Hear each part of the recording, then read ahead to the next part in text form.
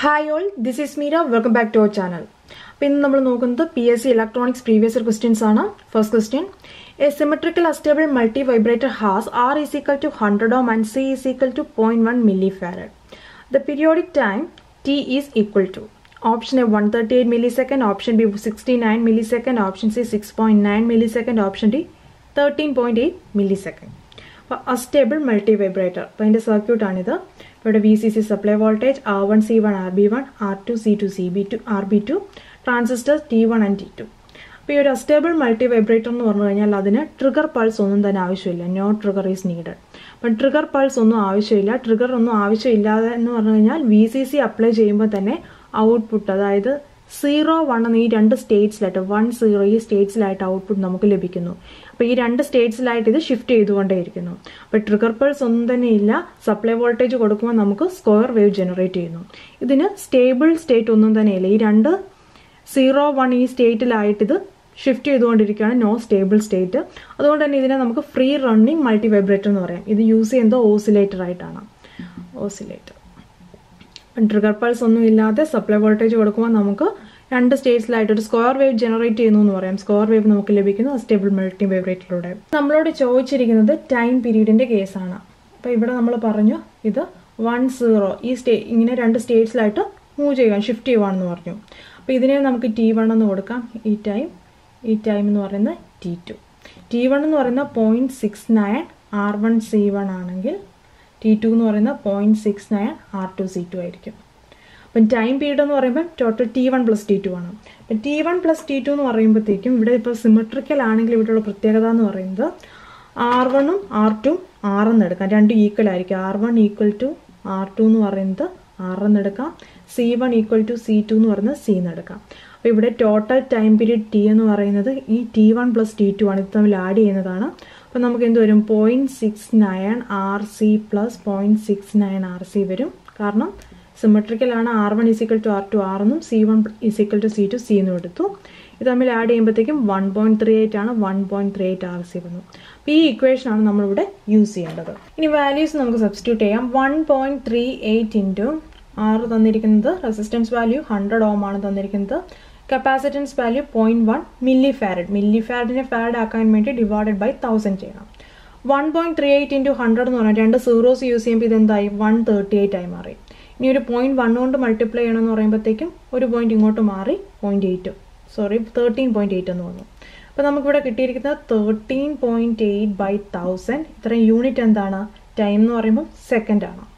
Option എല്ലാം milli second ആണ് സെക്കൻഡിനെ milli സെക്കൻഡിനെ മാറ്റണമെങ്കിൽ എന്ത് ചെയ്യണം? തൗസൻഡ് കൊണ്ട് മൾട്ടിപ്ലൈ ചെയ്യണം. ഇത് തമ്മിൽ ക്യാൻസൽ ആയാൽ thirteen point eight second sorry thirteen point eight milli second അപ്പോൾ ഇവിടെ വെച്ച് തന്നെ ഈ മില്ലി ഫാഡിനെ ഇങ്ങോട്ട് കൺവേർട്ട് ചെയ്യുന്ന ഡിവൈഡ് ബൈ തൗസൻഡ് കാണുമ്പോൾ ഈ വാല്യൂ ആണ് മില്ലി സെക്കൻഡിൽ നമുക്ക് മനസ്സിലാവും. ഓപ്ഷൻ ഡി ആണ് answer second question, which kind of polarization is provided by helical antenna? Option A circular, option B elliptical, option C plane circular, option D all of the above. അപ്പോൾ ഇവിടെ നമ്മുടെ വെച്ചാൽ polarisation polarisation എന്ന് പറഞ്ഞു കഴിഞ്ഞാൽ orientation of wave എന്ന് പറയാം. Orientation of the wave അതായത് ഇലക്ട്രോ മാഗ്നറ്റിക് വേവ് അല്ലെങ്കിൽ അതിന്റെ ഇലക്ട്രിക് ഫീൽഡ് കമ്പണന്റ് ഒരു മീഡിയത്തിലൂടെ പ്രൊപ്പഗേറ്റ് ചെയ്യുമ്പം അത് ഓസിലേറ്റ് ചെയ്യുന്നു. ആ ഒരു ഓസിലേറ്റ് ചെയ്യുന്ന ആ ഒരു ഡയറക്ഷൻ ആ ഒരു മീഡിയത്തിലൂടെ പ്രൊപ്പഗേറ്റ് ചെയ്യുന്ന ഒരു ഡയറക്ഷൻ ആ ഓറിയന്റേഷൻ ഓഫ് വേവ് അതിനെയാണ് നമ്മൾ പോളറൈസേഷൻ എന്ന് പറയുന്നത്. അപ്പോൾ ഇവിടെ ഒരു പ്ലെയിനിൽ നമ്മൾ ഇങ്ങനെയാണ് വേവ് കാണിക്കുന്നത്. എന്ന് പറഞ്ഞു കഴിഞ്ഞാൽ ഇത് വെർട്ടിക്കലി ഇതിന്റെ ഇലക്ട്രിക് ഫീൽഡ് കമ്പണന്റ് എന്ന് പറയുന്നത് വെർട്ടിക്കലി അപ്പ് ആൻഡ് ഡൗണിലേക്ക് ഓസിലേറ്റ് ചെയ്യുന്നു. അപ്പോൾ ഇതിനെ നമുക്ക് വെർട്ടിക്കൽ വെർട്ടിക്കൽ പോളറൈസേഷൻ എന്ന് പറയാം. ഇനി അതായത് ഇവിടെ ഉദ്ദേശിക്കുന്നത് ഇപ്പോൾ ഒരു ഹൊറിസോണ്ടൽ പ്ലെയിനിൽ ഒരു സ്നേക്ക് മൂവ് ചെയ്യുന്ന രീതിയിൽ ആ രീതിയിൽ നിങ്ങളൊന്ന് വിചാരിക്കുകയാണെങ്കിൽ ആ ഒരു മൂവ്മെന്റ് എന്ന് പറയുന്നത് ഹൊറിസോണ്ടൽ പോളറൈസേഷൻ എന്ന് പറയാം. ഇത് തമ്മിൽ ഡിഫറെന്റ് ആണ്. ഇത് വെർട്ടിക്കൽ ആണ് ഇത് ഹൊറിസോണ്ടൽ ആണ്. അപ്പോൾ ഒരു ഹൊറിസോണ്ടൽ പ്ലെയിനിലൂടെ ഒരു സ്നേക്ക് മൂവ് ചെയ്യുന്ന പോലെ ഹൊറിസോണ്ടൽ പോളറൈസേഷൻ അപ്പോൾ ഈ വെർട്ടിക്കൽ ആൻഡ് ഹൊറിസോണ്ടൽ പോളറൈസേഷനെയാണ് ലീനിയർ പോളറൈസേഷൻ എന്ന് പറയുന്നത് ലീനിയർ പോളറൈസേഷൻ ഇനി ഇവിടെ നമ്മൾ സർക്കുലാർ പോളറൈസേഷന്റെ കേസാണ് പറയുന്നത് കാരണം ഹെലിക്സ് ഹെലിക്കൽ ആന്റിന എന്ന് പറയുന്നത് ഒരു സർക്കുലർ പോളറൈസേഷനാണ് പ്രൊവൈഡ് ചെയ്യുന്നത്. അപ്പോൾ ഇവിടെ ഈ വെർട്ടിക്കൽ പോളറൈസേഷന്റെ കൂടെ തന്നെ നമ്മൾ ഈ നേരത്തെ പറഞ്ഞ ഹൊറിസോണ്ടൽ പോളറൈസേഷൻ വിചാരിക്കുക. ഈ രീതിയിൽ വരുന്നതാണ് നമ്മൾ പറയുന്ന സർക്കുലാർ പോളറൈസേഷൻ. സർക്കുലാർ പോളറൈസേഷൻ എന്ന് പറയുമ്പോഴത്തേക്ക് നമ്മൾ ഇവിടുന്ന് നോക്കുമ്പം ഇതിന്റെ ഈ മാഗ്നിറ്റ്യൂഡ് ഈ മാഗ്നിറ്റ്യൂഡും എല്ലാം തന്നെ സിമിലർ ആണ്. അതായത് വെർട്ടിക്കലും പോൾ ഈ രണ്ട് രീതിയിൽ നയന്റി ഡിഗ്രി ഔട്ട് ഓഫ് ഫേസിലായിട്ട് വേവ്സ് വരുന്നു. ഇലക്ട്രിക് ഫീൽഡ് പ്രൊപ്പഗേറ്റ് ചെയ്യുന്നു. ഇനി ഇതിന്റെ രണ്ടിന്റെ മാഗ്നിറ്റ്യൂഡ് എന്ന് പറയുന്നത് ഈക്വൽ ആയിരിക്കും. സർക്കുലാർ പോളറൈസേഷൻ എലിപ്റ്റിക്കൽ എന്ന് പറഞ്ഞു കഴിഞ്ഞാൽ എന്താണ്? അതിനൊരു മേജർ ആക്സസും മൈനർ ആക്സിസ് ഉണ്ട്. ഇതിന്റെ വാല്യൂസ് ഡിഫറെന്റ് ആണ്.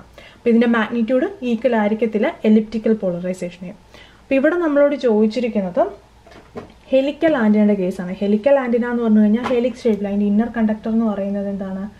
ഈ ഹെലിക്സ് ഹെലിക് ഷേപ്പിലാണുള്ളത് അപ്പോൾ ഇത് പ്രൊവൈഡ് ചെയ്യുന്ന പോളറൈസേഷൻ എന്ന് പറയുന്നത് സർക്കുലർ പോളറൈസേഷൻ ആണ്. സർക്കുലർ പോളറൈസേഷൻ ആണ് ഓപ്ഷൻ എ ആണ് answer third question the additional features of three G that are not available with two G are option one തന്നിരിക്കുന്നത് mobile T V second M M S third video transfers and fourth G P S നമുക്കിവിടെ options correct options നമ്മൾ ഇവിടെ നിന്നാണ് choose ചെയ്യേണ്ടത്. അപ്പോൾ ഇവിടെ second ജനറേഷനും third ജനറേഷനും തമ്മിലുള്ള ഡിഫറൻസിൽ additional features of three G അതായത് ടു ജിനേക്കാളും സെക്കൻഡ് ജനറേഷനേക്കാളും അഡീഷണൽ ആയിട്ട് ത്രീ ജിയിലുള്ള ഫീച്ചേഴ്സ് ആണ് ചോദിക്കുന്നത്. അപ്പോൾ സെക്കൻഡ് ജനറേഷനിൽ നമുക്ക് എസ് എം എസും M M S M M S എന്ന് പറഞ്ഞു കഴിഞ്ഞാൽ മൾട്ടിമീഡിയ മെസ്സേജസ് നമുക്ക് സെൻഡ് ചെയ്യായിരുന്നു.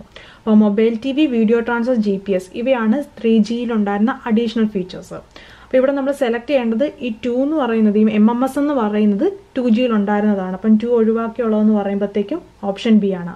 One three four mobile T V video transfers and G P S ഇതാണ് additional features of three G that are not available in two G fourth question preemphasis is done option A for boosting of modulating signal voltage option B for modulating signals at high frequency option C in F M before modulation option D all of the above അപ്പോൾ ഇവിടുത്തെ answer എന്ന് പറയുന്നത് option D ആണ്. അതായത് പ്രിയംഫസിസ് എന്ന് പറയുന്നത് F M frequency മോഡുലേഷനെ മോഡുലേഷന് തൊട്ട് മുമ്പായിട്ട് നടക്കുന്ന ഒരു പ്രോസസ്സാണ് പ്രിയംഫസിസ് ഇനി അത് നടക്കുക. ഹയർ ഫ്രീക്വൻസി മോഡുലേറ്റിംഗ് സിഗ്നലിലാണ് അത് നടക്കുന്നത്. ഇനി അവിടെ ചെയ്യുന്നത് എന്താണ്? മോഡുലേറ്റിംഗ് സിഗ്നൽ വോൾട്ടേജിനെ ബൂസ്റ്റ് ചെയ്യുന്നു. അപ്പോൾ ഇതാണ് പ്രിയംഫസിസ് നമുക്കിത് എക്സ്പ്ലെയിൻ ചെയ്യുന്നതിന് മുമ്പായിട്ട് ഇതുമായിട്ട് റിലേറ്റഡ് ആയിട്ട് മറ്റൊരു ക്വസ്റ്റ്യൻ പേപ്പർ ചോദിച്ചൊരു ക്വസ്റ്റ്യൂടെ നോക്കാം. ക്വസ്റ്റ്യൻ ഇതാണ്.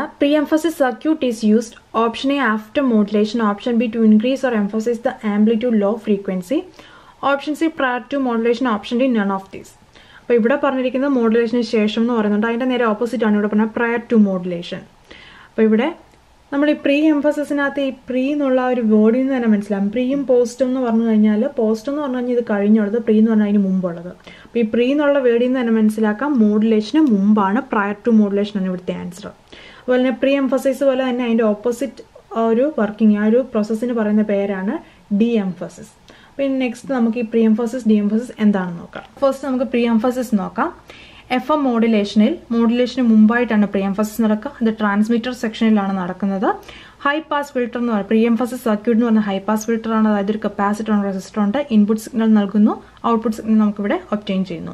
അപ്പോൾ ഇവിടെ ഹൈ പാസ് ഫിൽട്ടർ എന്ന് പറഞ്ഞു കഴിഞ്ഞാൽ നമ്മൾ നൽകുന്ന ആ ഒരു സിഗ്നലിലെ ഹൈ ഫ്രീക്വൻസീസിനെ ഇത് കടത്തിവിടുന്നു. കപ്പാസിറ്റർ ബ്ലോക്ക് ചെയ്യുന്ന എന്താണ് ലോ ഫ്രീക്വൻസീസിനെ ബ്ലോക്ക് ചെയ്യുന്നു. അപ്പോൾ ഇവിടെ പ്രീ എംഫസിസ് എന്ന് പറഞ്ഞു കഴിഞ്ഞാൽ തന്നെ artificial boosting of higher modulating frequencies അതായത് നമ്മൾ ഒരു ട്രാൻസ്മിറ്റർ സെക്ഷൻ എന്ന് പറഞ്ഞു കഴിഞ്ഞാൽ മോഡുലേറ്റിംഗ് സിഗ്നൽ ഉണ്ട്.